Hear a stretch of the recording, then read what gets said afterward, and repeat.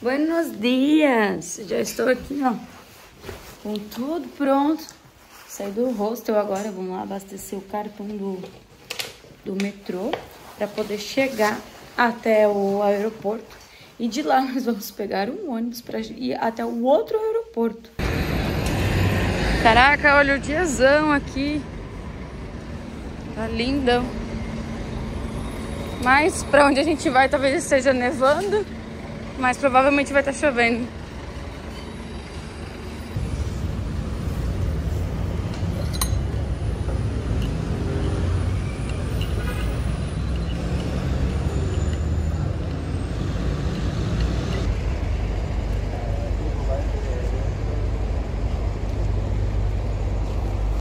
Ah, e outra coisa legal de se falar é que tem esse esse BA aqui, ó, é uma rede de Wi-Fi livre e, cara, funciona em muitos lugares.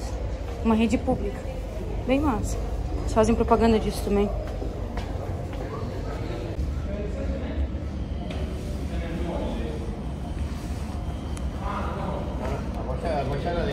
Ah, sim. Agora sim. Uhum. Então é isso, a gente já recarregou, agora a gente vai pegar o ônibus para ir pro aeroporto.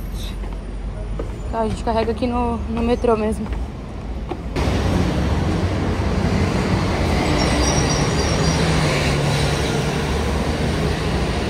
Não, que belo vídeo do obelisco. Só um quadro dele. Mas aqui tá bonito, ó. Tá bonito hoje. Ah.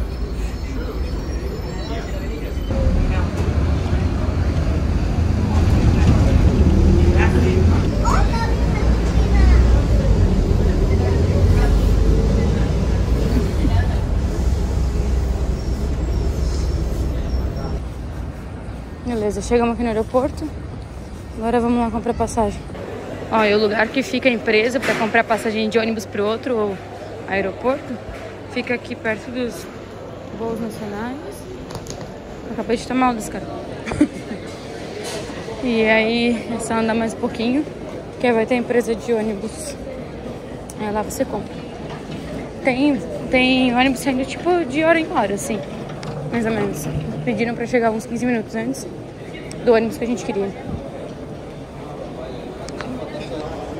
Ó, é esse Tierra Leone.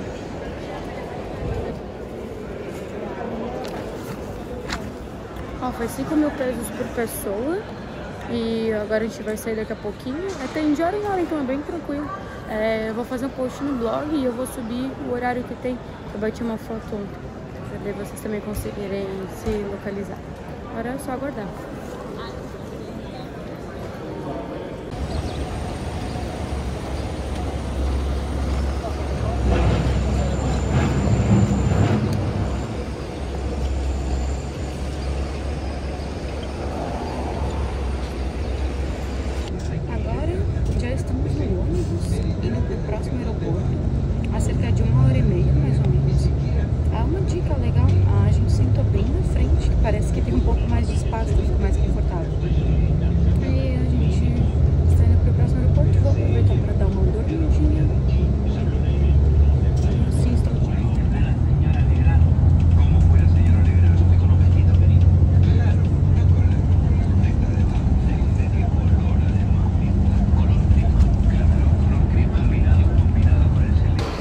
Já chegamos aqui no, no aeroporto. Agora vamos atrás do nosso nosso portão de embarque já para ficar ficar de olho.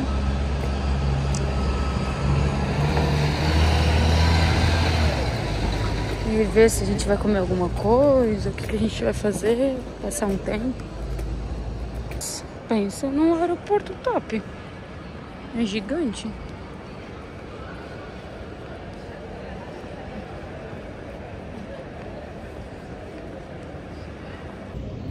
Chegamos bem antes do nosso voo, né? Ah, umas, umas duas horas antes do horário do cheio. Isso tudo pra garantir, né? Garantir que vai dar tudo certo e a gente vai conseguir as coisas. Porque ontem Ontem não, acho que a gente, ontem a gente meio que se perdeu nos ônibus em, Buenos Aires. E a gente só queria ter certeza que tudo ia dar certo. Então eu já tô aqui, trabalhar um pouquinho agora e a esperar pra, pra embarcar. Quando a gente chegar lá vai ser sete e meia da noite, e mais ou menos, e vai estar tá bem frio, bem frio. Ai, tá quase. Tô nervosa. Agora eu vou responder as perguntas que vocês fizeram lá no Instagram, né? No meu, Stephanie Silva, Stephanie Fran, e no Casal de Parques. O que vocês me perguntaram?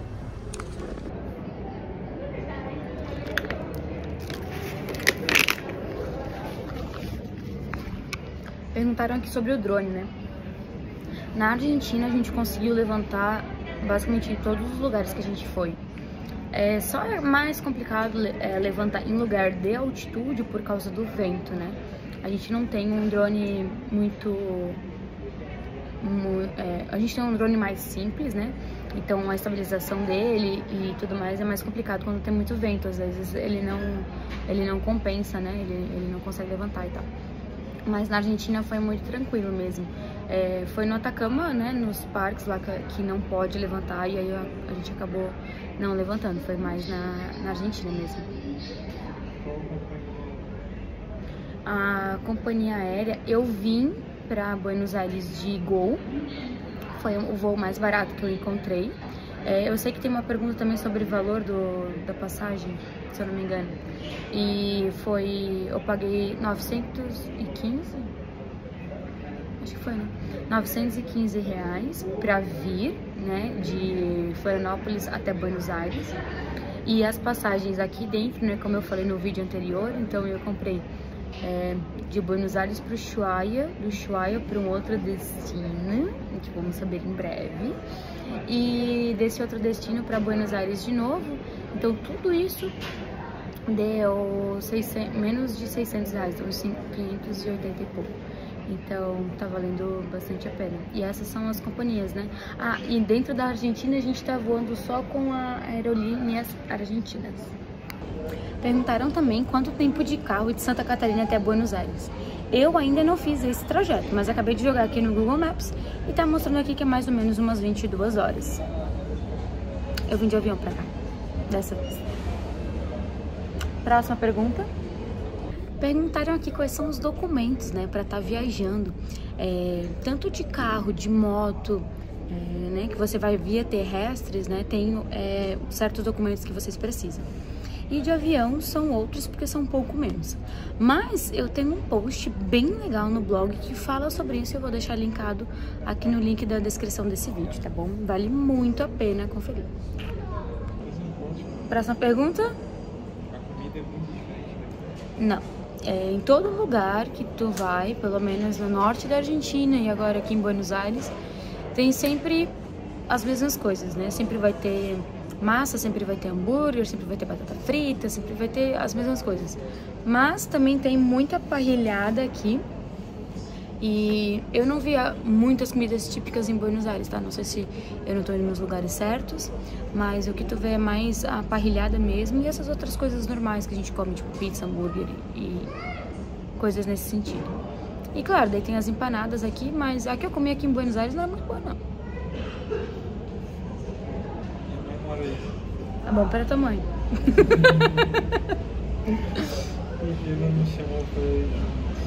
Cara, eu gostei dessa pergunta. Tava mesmo pensando em fazer uma viagem é, com, com amigas, barras seguidoras, barras... Sabe, uma viagem de meninas para algum lugar aí. Quem sabe, né? Vou lançar essa no ar. Eu já queria ter feito uma expedição para Atacama. Quem sabe esse, essa vontade não sai do papel, né? Quando é que vocês podem? Aqui perguntaram da média de valor, né? O que que acontece é o seguinte, a gente está gastando mais ou menos uns 5 mil pesos por refeição, almoço e janta, né? Com, com bebida, tipo uns dois chopps, assim. É, os hambúrgueres, por exemplo, tá numa média de 3 mil, é, 4 mil, e aí tem shopping por mil pesos, 2 mil pesos, isso vai depender dos lugares que você for. Então, assim, eu acho que de alimentação em um dia dá para considerar uns 15 mil pesos. É, a hospedagem vai variar também, né? Então você consegue aí hospedagens, por exemplo, que nem eu consegui por 15 mil pesos à noite para duas pessoas. Então pode colocar aí uma média talvez um pouquinho mais alta até para isso. E aqui o transporte público é muito barato, né? Então todos os passeios que a gente faz, a gente faz com transporte público, que ajuda muito. Então, né, nem sei direito como é que funciona essa questão de Uber e tal. É, vi que tem muito táxi aqui, então também é algo assim para talvez para pegar. Dizem que também é muito barato, mas uma média seria basicamente isso que você você gastaria. Ainda acho que o mais caro mesmo é a passagem, né? A passagem do Brasil para cá é, tá um pouquinho mais cara. Então, mas de resto tá compensando bastante. Cara, os rolês que dá pra fazer em dois dias em Buenos Aires, eu diria assim, ó. Vão é, na, em uma manhã nos parques, né? Por exemplo, o Jardim Japonês, o Planetário, né? E a Flores Genelis lá, que fica pro lado de lá de Buenos Aires, que é tudo por um canto só. É, na volta vocês vocês já param no centro para conhecer o centrinho todo, né? É, caminhar no obelisco ali, né? Naquelas coisas que tem ali na região. É, dá pra, pra ir caminhar também, tu, você cruza a avenida, né? E vai até a Casa Rosada e anda mais um pouquinho e conhece tudo mais. E no segundo dia dá pra conhecer o Mercado São Telmo, depois o Caminito e talvez é, a região portuária ali na ponte de la Mujer, alguma coisa nesse sentido assim. Acho que são dois dias bem, bem proveitosos. Acabou? Então essas foram as respostas das perguntas que vocês fizeram pra mim. E agora eu continuo aqui por mais algumas horas. E a gente se vê no Shuaia, meu Deus, no Shuaia. Sobre o câmbio? Sobre o câmbio, câmbio, câmbio paralelo. o câmbio paralelo. É, a cotação né, do câmbio blue que eles dizem aqui o que, que você faz? Você procura é, uma agência do Western Union, mas não adianta ir lá procurar se você não fez os trâmites anteriormente, né? Então você baixa o app do, do Western Union, você preenche os seus dados e tudo mais, você precisa é, fazer o Pix e aí depois que você receber o comprovante, né, com o código, aí sim você vai até uma agência do Western Union e aí você faz, é, você vai sacar o dinheiro. Aí o que que acontece? Quando você faz é, esse, esses trâmites dentro do aplicativo, ele já vai te mostrar qual é a cotação do peso naquele momento. Então, é, se eu não me engano, tem, é, tem uma validade, né, que, que você tem desse câmbio. Por exemplo, assim, ah, eu fiz os trâmites agora, mas não fiz o Pix ainda. Então, aquele, aquele código vai valer só por aquele tempo. Depois ele já expira, né, e aí é usado um novo câmbio. Vai mudando todos os dias, né? Então, quando eu fui para a Argentina em setembro, em agosto, setembro, eu cheguei a pegar o câmbio, se eu não me engano, a 170, mais ou menos, o melhor câmbio. E agora, né, em outubro, aqui na Argentina, eu consegui um câmbio de 193. Então, é assim que funciona para conseguir esse câmbio, né? Se vocês forem numa casa de câmbio ou qualquer outra coisa assim, o câmbio é menos que a metade disso. Então, é, realmente compensa muito estar tá buscando uma agência do Vaselina. Próxima. Como ir de carro? Aceite e tal. Como ir de carro? É, qual outra pergunta? Como ir de carro? Pega Bom. o carro, liga e vai.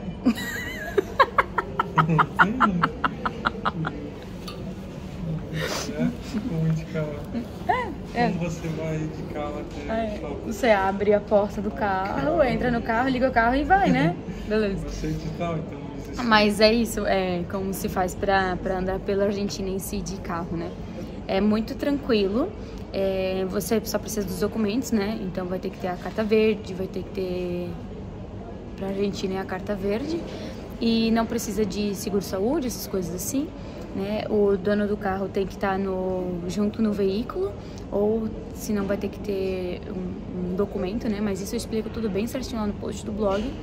E o macete é o seguinte, é não trocar dinheiro no Brasil, trocar dinheiro na Argentina e procurar as cidades menores, né? As, as cidades pequenas e mais do norte da Argentina são incríveis, são lindas, tem muita coisa legal para se fazer e é onde nosso dinheiro vale mais. Então, essa é uma das dicas. Como é que é? Onde você se hospedou? É, não recomendo.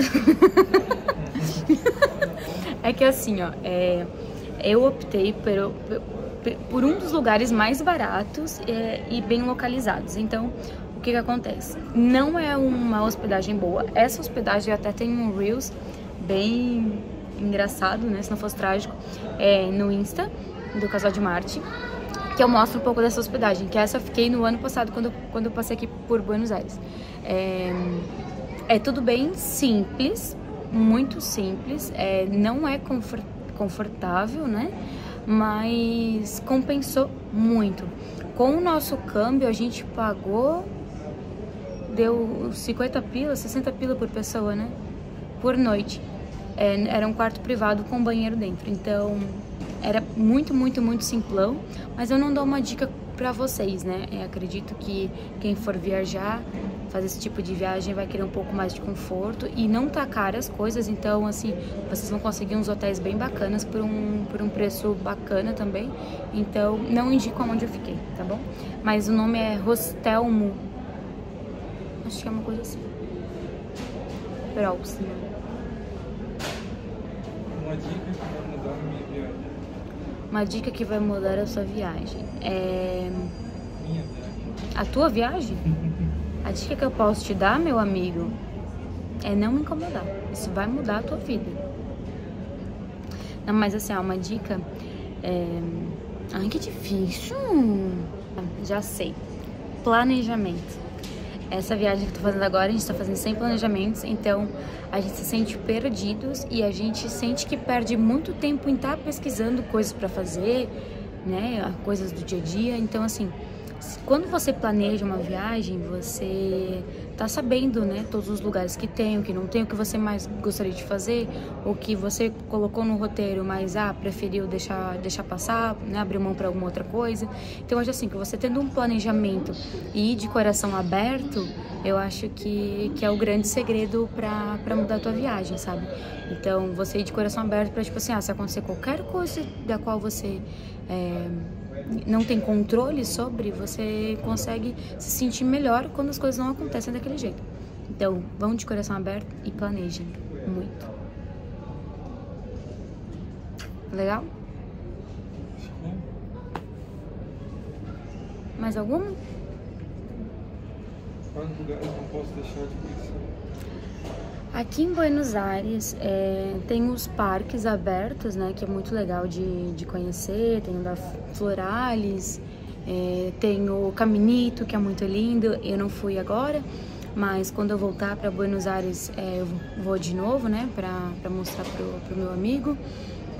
Ah, tem também o agora, né, o Jardim Japonês, tem o, o... Deus, como é que é o nome do negócio que a gente foi ontem? O planetário. não, não, a cabeça aqui não tá falando. Ah, o Mercado São Telmo. Esses são realmente lugares que não dá pra deixar. E claro, né, dar aquela turistada pelo centro de Buenos Aires, né, no obelisco, lá na placa do BA, de Bahia, né? Na placa do BA, que é muito bacana também. Então esses são os lugares que não dá para deixar de visitar. Tô olhando pra cá, mas a câmera tá aqui, né? Partiu pro fim do mundo? Pro fim do mundo? Partiu pro fim do corredor.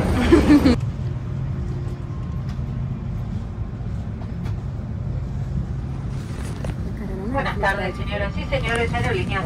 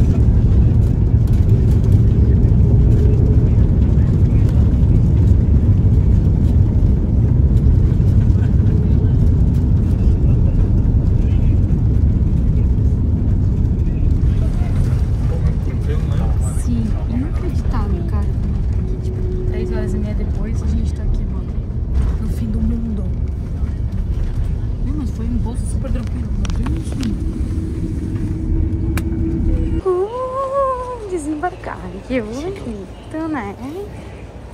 Olha.